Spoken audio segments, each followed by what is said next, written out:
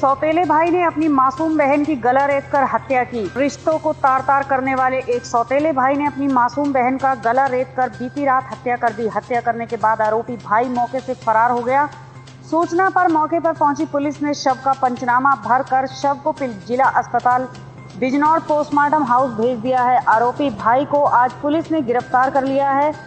अभी हत्या के कारणों का पता नहीं चल सका है। जनपद बिजनौर के थाना किरतपुर के मोहल्ला जोशियान का रहने वाला ताहिर नाम के युवक ने अपनी सौतेली मासूम बहन की बीती रात गला रेत कर हत्या कर दी और मौके से फरार हो गया।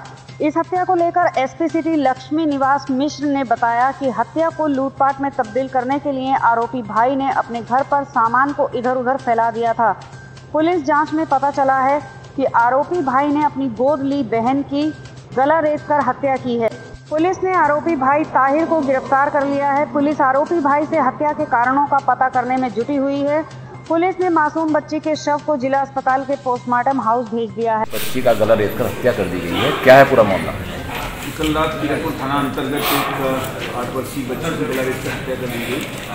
और घटनाक्रम को इस तरह दिखाए गए जैसे लूटपाट और गहराई से छानबीन की गई तो पता चला कि उसके भाई के द्वारा ही हत्याकारी उसमें और साक्ष संकलन की कार्रवाई की है।